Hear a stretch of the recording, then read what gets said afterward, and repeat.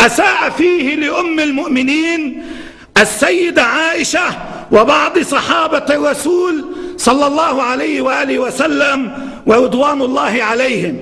أساء فيه لأم المؤمنين السيدة عائشة وبعض صحابة الرسول صلى الله عليه وآله وسلم ورضوان الله عليهم.